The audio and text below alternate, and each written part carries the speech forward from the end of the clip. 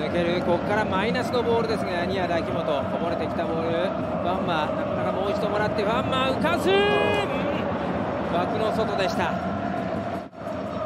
いやサイドを起点にしながらそうですねボールコントロールして一瞬空いたんで多分右足で空いたようなシュートを狙ったんでしょうけれども、まあ、シュートブロックもしっかり来てましたから。それから大久保に入った大久保がドリブルで持っていく。大久保大久保ここからクロスヘディング小泉。ナイスキーパーです。村上のセーブ。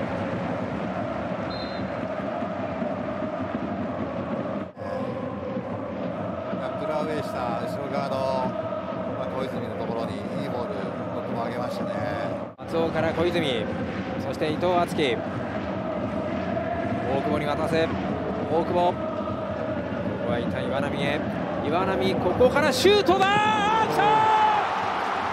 クロスバーに当たってゴールイン見事なミドル炸裂です岩波。先制は浦和レッズ。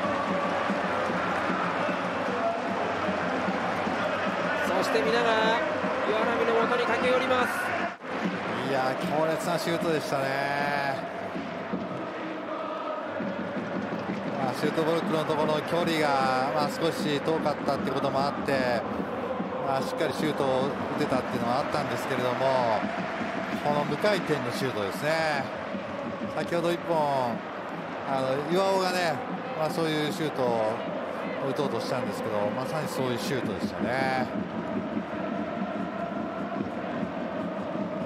シュートその場合はガンバとの、えー、得失点差総得点での順位争いという状況にもなります。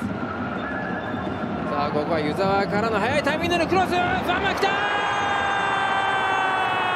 追いついた!追いついた福岡!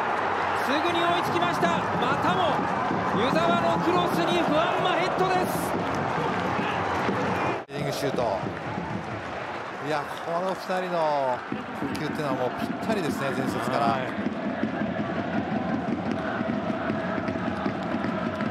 いや自分たちのストロングポイントを生かした素晴らしいゴールですね。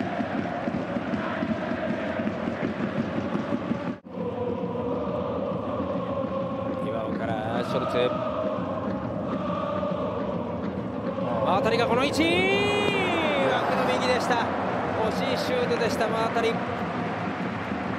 タッチからシュートまでの流れは非常にスムーズでしたけれどもね、でもこれもやはりディフェンスラインから7ですかね、まあ、シュートブロック来てるんですよね、やっぱあれが少しこう軸がずれたりして、あのやっぱシュートの精度を金森、そしてこうプレスもかけていく山岸です。そしてここで長い笛が吹かれましたฝากติดตามกด subscribe ช่อง YouTube j l e a g u e International ด้วยนะครับ Like, subscribe, get push notifications. Like, subscribe, push notification.